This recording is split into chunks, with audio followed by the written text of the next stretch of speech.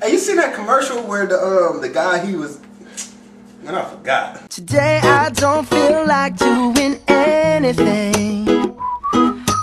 I just wanna lay in my bed. Man, I'm, I'm waiting on my tax return right now. As soon as we get it, man, we're gonna go back in the club and start popping bottles.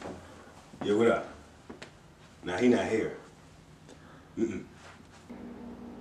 You are not the father! I told him this sucker wasn't the father! I knew it. Because once those tax returns come in, H&R Block gonna be on my block. Hey, you seen that one movie where that, um, hey, you, you ain't seen that movie? You, you ain't seen that movie?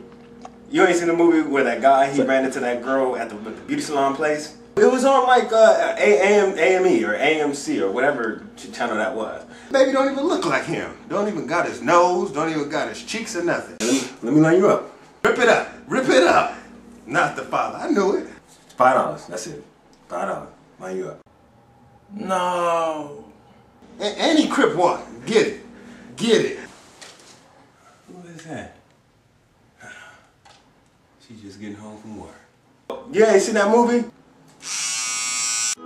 Don't feel like picking up my phone, so leave a message at the tone. Cause today I swear I'm not doing anything. Uh, I'm gonna kick my feet up, and stare at the fan. The TV on, throw my hand in my pants.